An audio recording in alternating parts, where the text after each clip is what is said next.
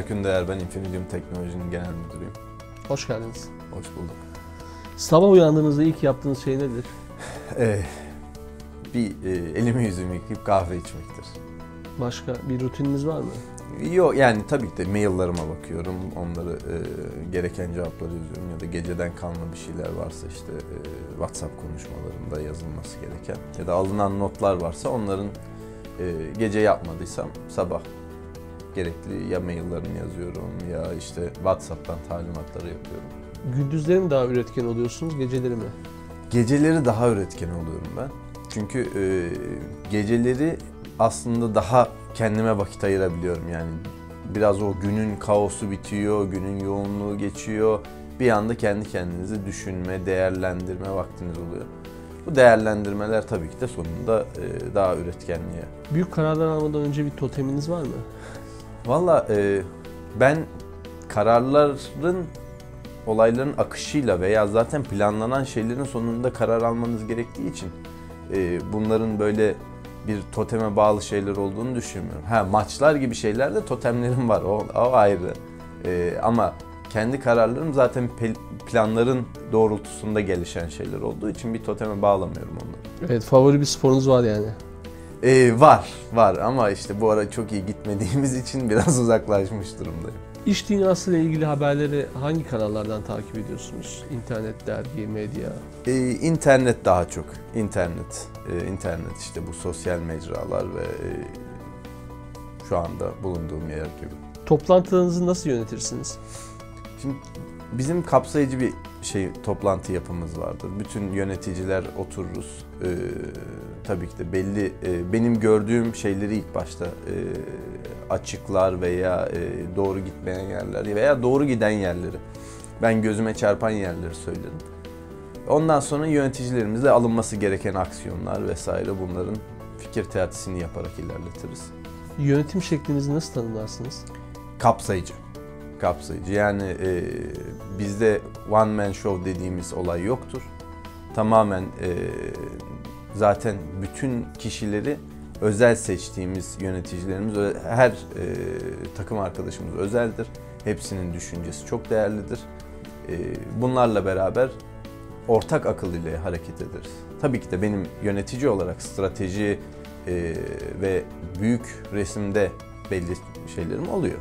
E, ama genel olarak herkesin görüşü çok değerlidir. Hep beraber kapsayıcı bir takım oyunuyla ilerleriz. İş yaşam dengesini kurabiliyor musunuz? Eh, güzel bir soru, güzel bir soru. Ee, çok kurabildiğimi düşünmüyorum. Çünkü dinamikler buna çok izin veren şeyler değil. Ee, hele bizim ülkemiz gibi bir yerde geceden sabaha e, bütün oyunun kuralları değişebiliyor. O yüzden adapte olmak için işi biraz ağır tutmamız gerekiyor. Şimdi iş Türksel sorularına geçiyorum. Bugün şirketiniz yeniden kuruluyor olsa olmazsa olmaz 3 teknolojik araç ne olurdu? Ee, yani biz tabii ki de teknoloji şirketiyiz. O yüzden hani e, bilgisayar, e, server gibi hani e, bileşenin olmazsa olmazı. Cep telefonu kesinlikle olmazsa olmaz çünkü haberleşmeyi e, ve aksiyon zamanını minimuma indirgemiş bir alet. Bilgisayar ve telefon dışında bizim çok bir hani şeyimiz olmaz. Teknolojiyi yakından takip etmek mi yoksa teknolojiyi yakından takip edenle çalışmak mı? Hangisi? Ee, bu çok güzel bir soru çünkü e, ben iki tarafı da söyleyeyim yani ikisini de tercih ederim çünkü ikisinin de olması gerekiyor. Birisi e, işin çok içindeyse körlük yaşayabiliyor, E, basit bakamıyor veya e, alternatif işte outside the box dediğimiz şeyleri e, yapamıyor. Diğeri ise yenilikleri takip edip çağa adaptif e, bir e, ürün üretemiyor. O yüzden bu ikisinin birleşimi çok önemli benim için. Teknoloji çok hızlı gelişiyor. Uykunuzu kaçıran bir problem oluyor mu? E tabii ki de oluyor. Yani e, çünkü teknolojinin çok hızlı gelişmesi demek hele bizim sektörümüzde e, rekabetin kurallarının da değişmesi demek olabiliyor.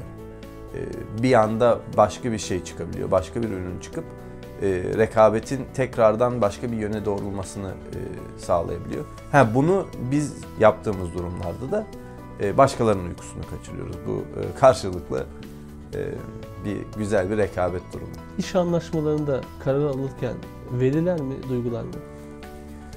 Ee, yine diyeceğim ikisi de beraber olması gerekiyor. Çünkü e, gördüğünüz şeyler hayat boyu zaten işte e- evrim dediğimiz olay insanların e, içgüdülerinin, insanların duygularının aslında öğrendiği şeyleri e, asırlar, yıllar, yüz, binlerce yıl boyu e, öğrenmesiyle alakalı bir şey aslında duygularımızda. Bu e, tamamen bilimsel bir şey. O yüzden duygular da insanı doğru e, yönlendirebilen şeyler. Ama veriler de aynı şekilde e, müthiş gerçekleri yansıtan şeyler. O yüzden ikisini birleştirmek benim için Genç yaşta yönetici olmak çok zor mu? e, zor ama bir yandan da kolay. Çünkü e, tabii ki de enerjiniz, e, saldırabileceğiniz veya e, belli bir yere gel, e, belli bir yaşta, belli bir oturumda olmadığınız için daha az kaybetmekten korkuyorsunuz. E, ben yapım itibariyle bunu gençliğime de veriyorum. Hani e, bir e, dövüşe girerken diyelim e, ticaret hayatında onu kaybetmekten korkmuyorsunuz. E, diyorsunuz ki ha ben kazanırım da kaybederim de ama benim enerjim var ben bunu yapabilirim diyorsunuz. İş dünyasından öğrendiğiniz üç şeyi söyleyebilir misiniz?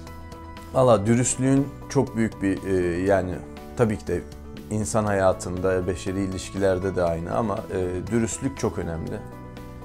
E, onun yanında e, hayal kurmak çok güzel bir şey.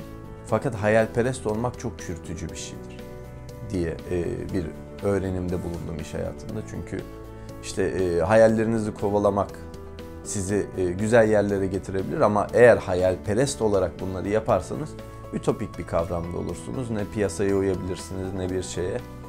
E, bir de e, insan ilişkileri.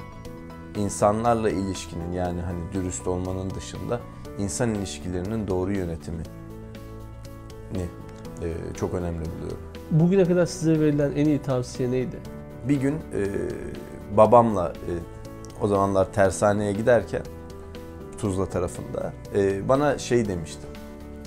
Bak demişti her yerde e, sırtına yük alacak bir e, tabiri caizse yük hayvanı çıkar.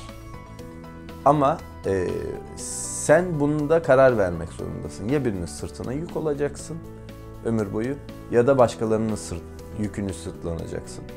E, bu benim için aslında çok değerli bir tavsiye olmuştu. Çünkü e, hep tam tersine hareket etmek için yol aldım. O yüzden ben sırtlanmış oldum. İş dünyasına yeni gireceklere tavsiyeniz ne olurdu? Valla çok çalışmak. Çok çalışmak. Yani yılmadan çalışmak gerekiyor. Ee, de, sizin işte daha önce söylediğiniz verilerin işlenmesi, duygular, e, hayal kurmak. E, aslında çok güzel sorular soruyorsunuz. Yani bunların hepsinin birleşeni e, iş dünyasına girecek insan için bir yol oluşturuyor bence. Sizin bir hayaliniz var mı? Çok hayalim var tabii ki de Ee, ama hani iş açısından konuşursak farklı hayallerim var. İşte spor açısından konuşursak farklı hayallerim var. Aile açısından konuşursak hayallerim var. Ee, insan hayalsiz yaşayamaz. Bugüne kadar üzerinizde etki bırakan kişi kimdir? Valla çok e, büyük bir liste vermem gerekir. Çünkü insan çok e, ders alan bir varlık. Ve burada ders alırken her zaman iyiden de ders almak gerekmiyor. Kötüden de ders almak gerekiyor. E, etkilenmek gerekiyor.